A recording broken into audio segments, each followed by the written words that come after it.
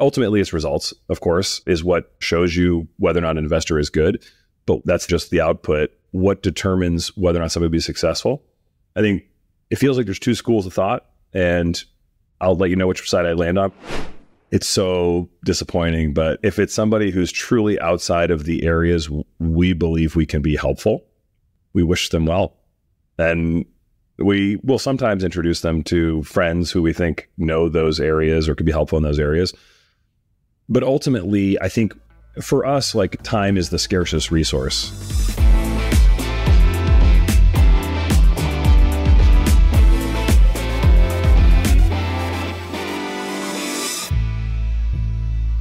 Hello, everyone, and welcome to FinTech Leaders, coming to you from New York City. I'm your host, Miguel Armaza. And I'm a co founder of Gilgamesh Ventures, a venture capital fund that backs early stage fintech entrepreneurs in the US, Canada, and Latin America. If you enjoyed this conversation, I invite you to leave a review on Apple Podcasts, Spotify, or wherever you get your shows so more people can learn about fintech leaders. In this episode, I sit down with Dan Rosen, founder of Commerce Ventures, a fintech and retail focused fund that's been building an impressive portfolio since 2013. Some of their investments include Bill.com, Marqeta, Socure, Moov, MX, and many more. Dan is a veteran investor and has been in venture capital for over two decades. In this episode, we discuss building a venture fund and how their thematic strategy has evolved in the last decade, qualities of great tech and fintech investors, the real advantage of second time founders, why we are starting to see signs of a moderate comeback in the growth market, and a lot more. Dan, welcome to FinTech Leaders. How's everything in SF these days?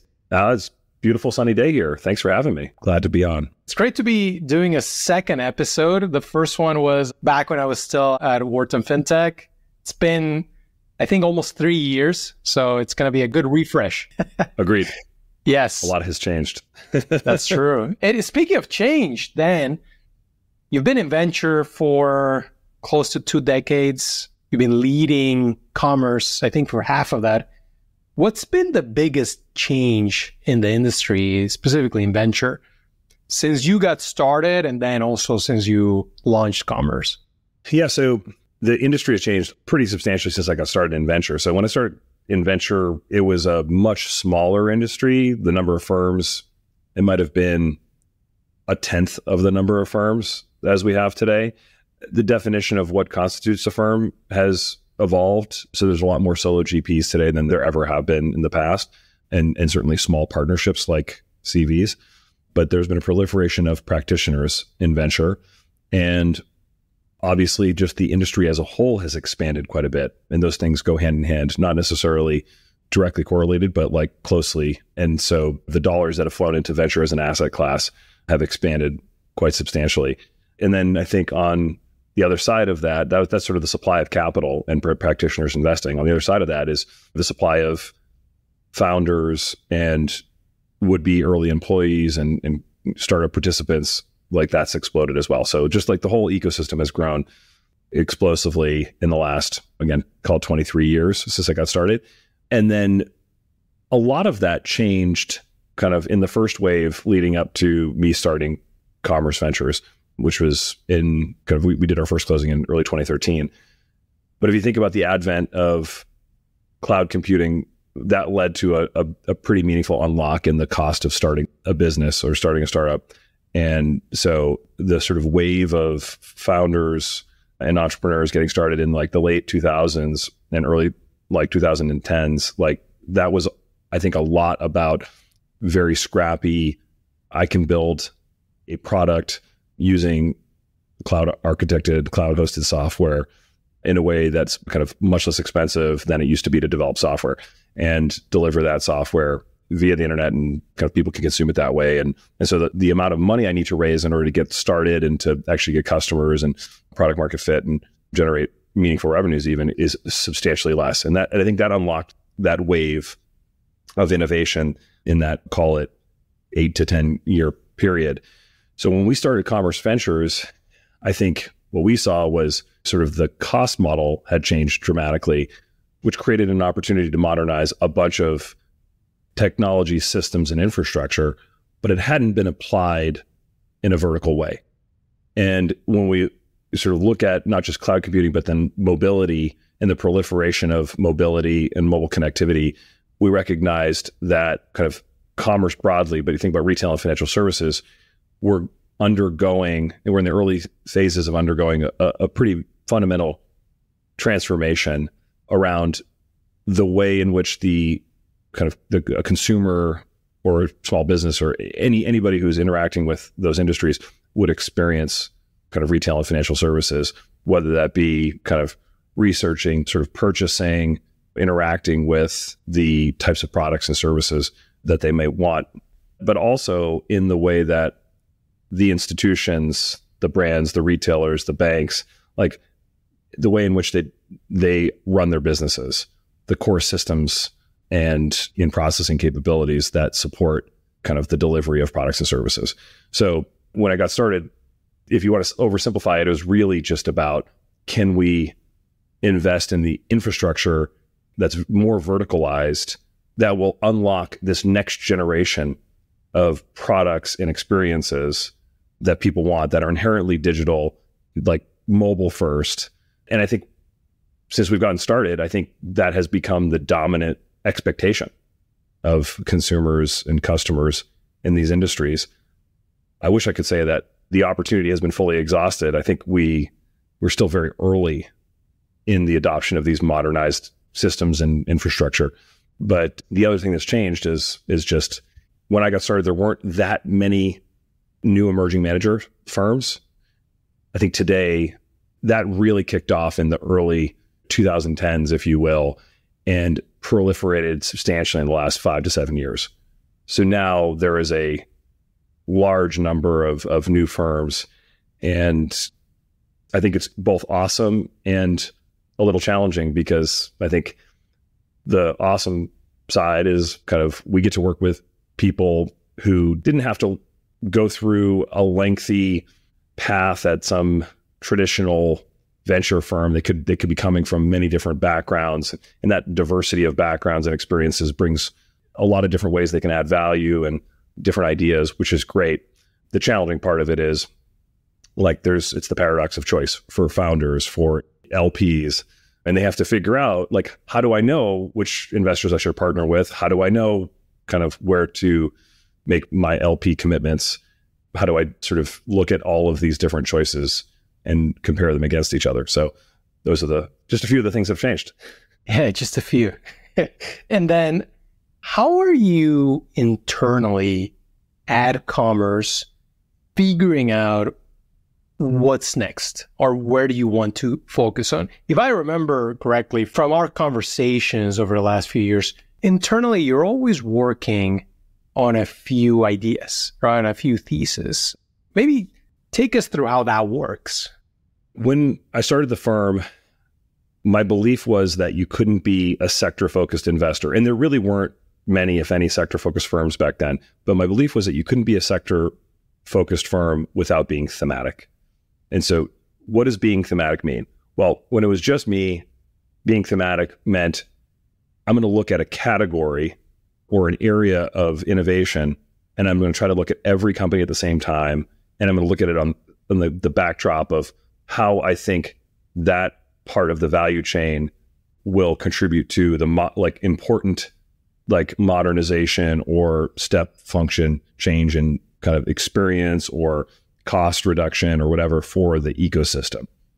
And so, like the idea, so to bring those two things together, one is like having an idea about kind of what trends are happening and how those will sort of be captured in a value chain or the opportunity could be captured in a value chain. And then thinking very specifically about the providers who could enable that to happen, like all together, like like which one of these players is most likely to be successful. That to me is when you combine those things, that's being thematic in the way that you invest. The way that we come up with theme ideas is, you know, it's probably not a mystery, but we're constantly reading, we're talking to, I mean, in our model, another staple is we're talking to large enterprises all the time.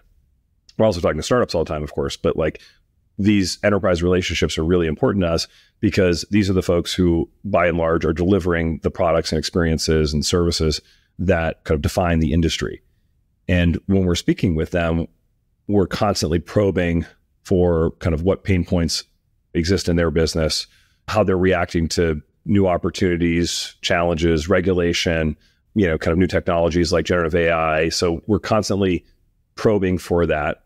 And then based on their both firm specific priorities, but also kind of their reactions to broader trends and opportunities, we're determining a short list of themes we should be pursuing that we think are time relevant to the market and the industry as it stands today, but with a view towards adoption and dramatic growth in the foreseeable future, maybe three to five years. So that drives a lot of, of how we compare and contrast which theme to focus on. And candidly, identify a lot of like collaborators who will help us figure out which companies feel like they're better matched for the opportunity and maybe even early customers for the startups that we might invest in. And internally, how do you divide responsibilities? And you don't need to get super specific, but now it's not just you, right? You you have a team. I have the pleasure to meet many of them. I, I met maybe half of the Commerce Ventures team. But how does it work? I know you're also training people to raise through the ranks. How have you manufactured this process?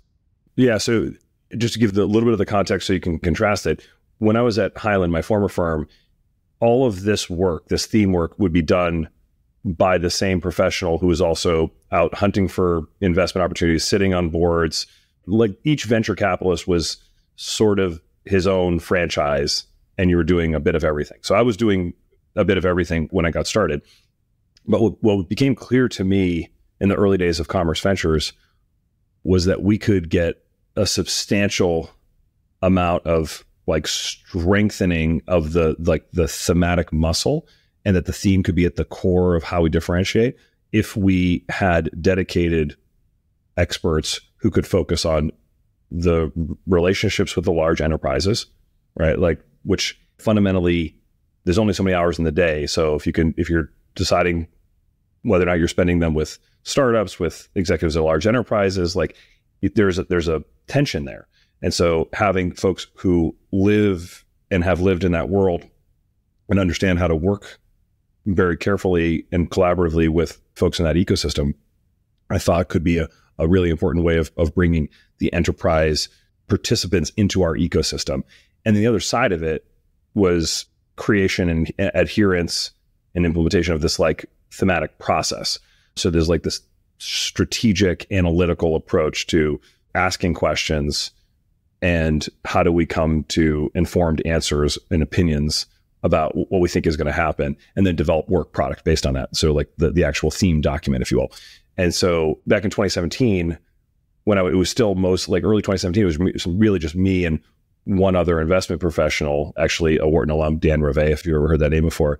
And it, we expanded the team brought in a gentleman named ice brandt marsalis or ice for short and ice came from that background of like had been in and like corporate strategy and like enterprise BD at some large enterprises in financial services and payments.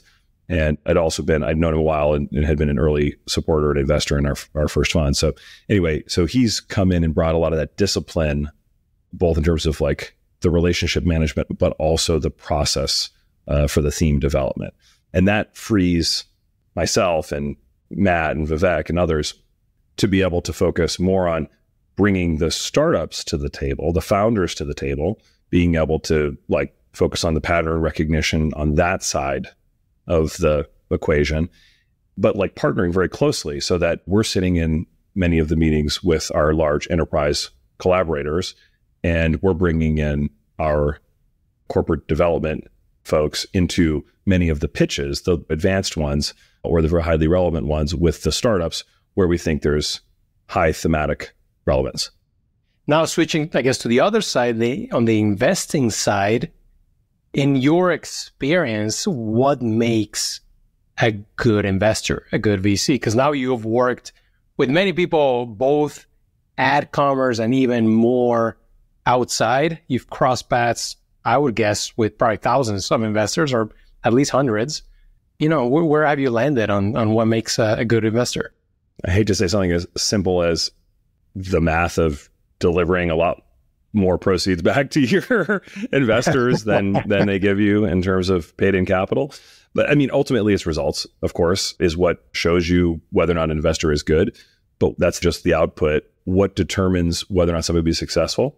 I think it feels like there's two schools of thought, and I'll let you know which side I land on. But just just to frame it up, one school of thought is like, I'm just a big brain kind of computer equivalent, like looking for pat, like ingesting data and looking for patterns and trying to kind of identify money making opportunities based on that upon those patterns. Like that's, I think, one school of thought. And I should say that underpins both, but like one is very much about like a theme and a thesis and like an investment strategy. And I think the other one is about just people. It's just like I have insights towards people or I have a great network and I'm leveraging that network and harness like extracting value out of it. And ultimately, like anything, it's like the truth is probably a blend of the two of those. I think from our perspective, we view the people side of this as like a table stakes thing of like you can't be successful investing in startups, especially the types that we invest in, which are relatively early stage, without there be a, being a heavy reliance on high quality talent and a commitment to continue to invest in talent along the way for your best startups. That's just part of the job. But I think for us, we don't see it like the ability to uniquely differentiate ourselves based upon just a view on talent or talent network.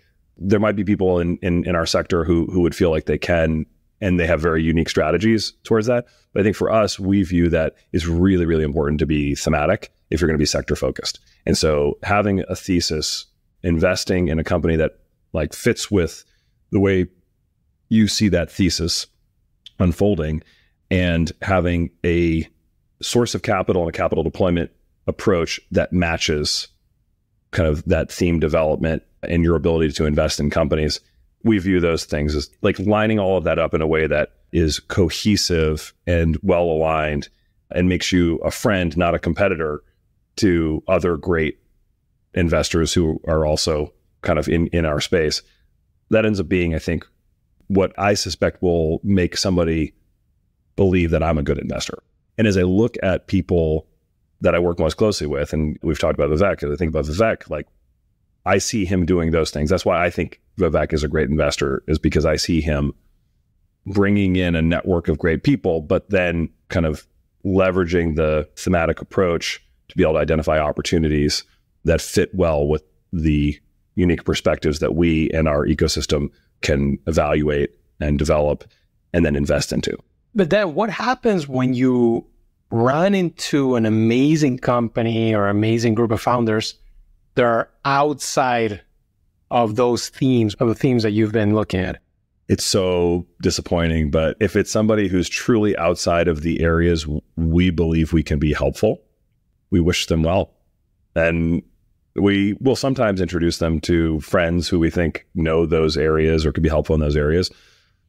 But ultimately, I think for us, like time is the scarcest resource. I mean, certainly dollars are scarce always, but like time is the scarcest resource.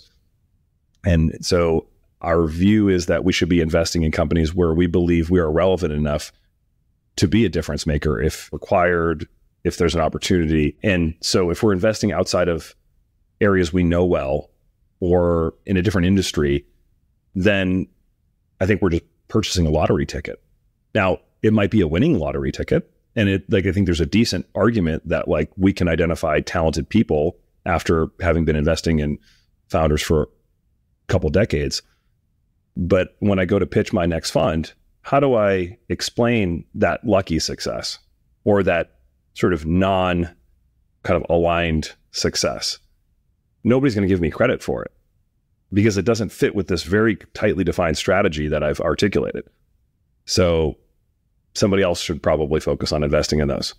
You've kind of covered this already, but maybe share a little bit more of your portfolio construction process because at commerce it's a, it's a little bit different than I would say the bulk of early stage investors that I talk to. Let's hear a little bit about the process that you have. Yeah. Being different, I think, is great, at least for us. I like that we operate a little bit differently. Makes it easy for people to understand what we do and how we could work with them and how we are different with other folks when they're making decisions. So, going back, rewinding to this idea of, of being thematic. And by the way, like a theme idea could start with a founder, like a new area that like a founder is poking at. We're like, oh, that's interesting. We never thought about that before. So we can identify new themes that way too.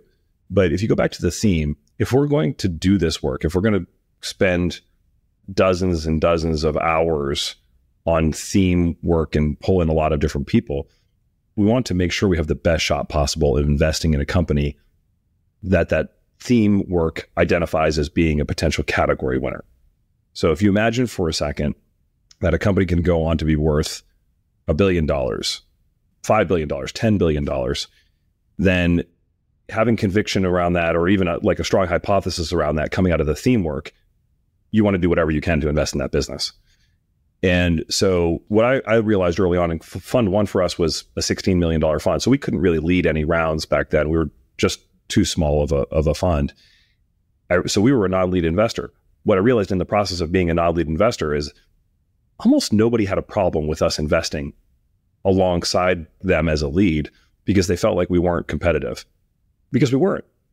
And so if I combine those two insights, which is that like we're going to do all this work on the theme and then we want to make an investment in the company that is the answer or one of the answers from the the theme hypothesis and the highest probability of being able to invest into any particular round is if you're asking for a small allocation as a non-lead it quickly became clear to us that like why wouldn't we maximize the chance to be able to invest in the companies we think are positioned to be category leaders? And then let's get started working with them. And if they think we can add value and the relationship is good on both sides then we should ask to be able to invest more money now, this sort of, I just kind of did this almost intuitively with some of our Fund One portfolio companies. So it wasn't like I thought about that in advance. But as I saw myself executing on that strategy and us executing on that strategy, I realized that it was just different than the way other firms like operated. We didn't ask for the rights up front to be able to invest more money in those companies. We just said, hey, if we earned it, then and like we'll tell you that we'd love to invest more and you'll either say yes or no. And it turned out that a lot of people said yes. And they said yes because we were interacting with them regularly, we are helping, we had good rapport. And so our strategy really is that. So we start with these initial investments that are tend to be relatively small and non-lead. And then where we see that we can make it, we can be helpful, we have a strong relationship, we will try to invest more capital into those companies.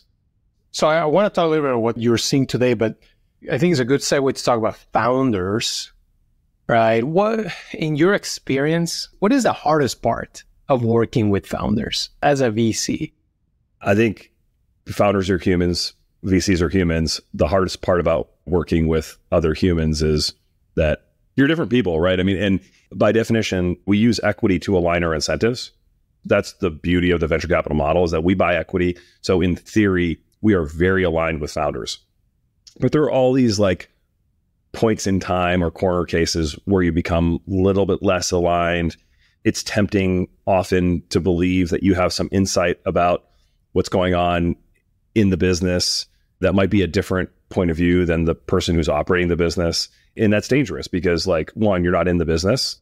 And two, like, ultimately, we don't run businesses. We can't run businesses. That doesn't work in our strategy. So, like, at points of misalignment, right? When things aren't quite clicking for the business and you're trying to figure out what, like, you can become misaligned. And like, I think the most challenging part about working with, with founders is really creating the ability to work through those moments of tension and misalignment in a way that is constructive, that's rooted in first principles approaches, like rooted in data, is as like non emotional as is possible on all sides. And so uh, like I imagine this is this is the this is the hardest part about working with founders and probably what founders would say would be the hardest part about working with VCs. Yeah. And you've worked with a lot of founders. Something you were telling me before we started recording is that now you're seeing a good number of repeat founders come back to the market. I take that as a great sign today of, of where we are as a point in time. Maybe tell us a bit more about that. Yeah. So I think for a variety of reasons, we are seeing a surge of repeat serial kind of founders who've had successes before, and in some cases, very meaningful success, coming back to start their next business or raising around for their next business. And just because somebody's been successful before doesn't mean that they'll be successful in their next venture. But it's so difficult to create something from nothing. And there are a lot of different challenges that a founder goes through in order to build that somebody who's been on that journey before, and especially somebody who's been on that journey before and had some success, it's easy to imagine that they have been through a lot of those difficult challenges and understand how to map a course when they're faced with adversity. And so, like, I don't know that it's the challenges themselves that always end up being the sort of the issue for a founder. It's actually the way that we respond or that a founder responds to those challenges that ends up being probably defining of whether or not you're going to be successful. I mean, the odds are against success from the beginning. So failure is the most likely outcome from the beginning. And even with these repeat founders, we assume that the chances of success are smaller than the chances of failure. The reasons for failing should be different. Like the reasons that like you wouldn't be commercially successful might be because the commercial opportunity isn't what we thought it was or developing a product that would solve it is not feasible. Those would be very reasonable outcomes even if the investment's not successful. You're like, that was a good hypothesis. And we tested it, and the answer is that no, there isn't a, a good business to build here. But hopefully, repeat founders have the advantage of not tripping over failure risks that would be bigger traps for first time founders. I distributed my equity the wrong way. I made some bad hires and I didn't correct like quickly enough. I brought on the wrong investors just even the way I'm building product or how I'm selling it or like who should be my first customers, what, what defines that? How do I go find them? Do I know them already even? So like there's just all these advantages that somebody who's been through that journey before, especially in a relevant area like they have. And does that mean that you've also had success backing repeat founders in the last couple decades? So I think the conventional wisdom of venture capital was to try to only invest in repeat founders when I first got started. What occurred because of what we discussed earlier was this proliferation of venture firms, proliferation of capital, and proliferation of founders. We exhausted the supply of serial founders to invest in. And by the way, like if you have a lot of success at a certain point, there's only so many startup journeys you want to be on. Maybe you transition to retirement or investing yourself or whatever. So there's definitely a finite supply of, of these serial founders. So there was a long window in this middle phase that I was describing of like, there just weren't that many serial founders to invest in. But what's occurred in the last three to five years is that many of the companies that were started back when CV was just getting started have had exits. And the founders of those businesses have rested, invested, or taken some time off, or started building something new. But in any case, many of them are now at a point where their second startup is the thing they're working on. In some cases, it's a third, but in many cases, it's somebody who had that first success and now is doing the next startup. And so we're just now in a place where there's a, like a meaningful supply of those people, I think. And then switching gears a little bit, we are at least a year and a half in since the market turned right? It, it just became different in, in many ways. The early stage never really went away. Founders are always starting companies, but the growth stage was frozen for a long time. Where is it now? We are seeing the first signs of the growth stage thawing. So I'm not sure if it's fully playing out in the numbers that we would see from NVCA, but and, and certainly valuations have come back to a much more traditional sort of norm around valuation multiples. But even in our own portfolio, we've seen three of our semi-mature portfolio companies, so companies that you know kind of have eight figures ish of revenue run rates and varying, getting their next term sheets at meaningful markups. In a couple cases, kind of north of a billion dollar valuations in rounds that feel like what you would hope would happen in a pre 2020 era. So, like relatively normalized. So, it feels like those are signals to me that the growth stage is ready to invest in good businesses at sort of reasonable multiples, which is super encouraging. It's still early in that process, but I, I think that will eventually ripple backwards so that if we can plan for those types of growth rounds, then we understand maybe how the middle stage of venture works and can map a course from early stage. Yeah. And by, by the way, we have a smaller portfolio than yours, but we are seeing the same thing. All right. Very, very similar. So it, it's definitely possible to raise a growth round. Just the, the numbers and what you need as a company is different. Then before I let you go, I see a couple books behind you. Any book recommendations? Any favorite books? The last book I read, which I highly recommend, was Hail Mary. I don't know if you've ever heard of it. No, I haven't yet. It's a dystopian future based novel by Andy Weir, who is the author of The Martian. If you ever read or saw the movie with Matt Damon. So awesome book. Highly recommend it. This is great. I'll add a link to the Amazon site for that book. Awesome. Well, then, thanks again for joining. And I know there's going to be both VCs and founders interested in, in this conversation. So, a lot of people are going to find it very, very helpful. Thanks for having me. I really appreciate it. It's always fun chatting with you. And let's just try to do some more deals together. Absolutely. Let's do it. Thanks, Dan.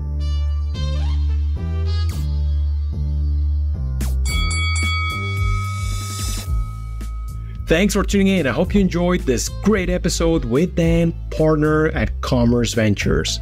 If you want more interviews, make sure to subscribe, follow, and leave a review on Apple Podcasts, Spotify, or whatever get your shows. It helps and truly means a lot.